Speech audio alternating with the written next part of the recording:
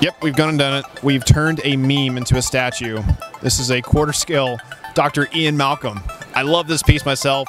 I'm going to buy one because this is just the quintessential Jeff Goldblum from the original Jurassic Park. I love the base that we've done for this. I love the representation of it. It's just, it's perfect. It's spot on. I'm totally going to put this on my mantelpiece. And if you're a Jurassic Park fan, you're probably going to do the same. And this is available for pre order right now on our website for $5.99. And it's eligible for payment plans, as with many of our products.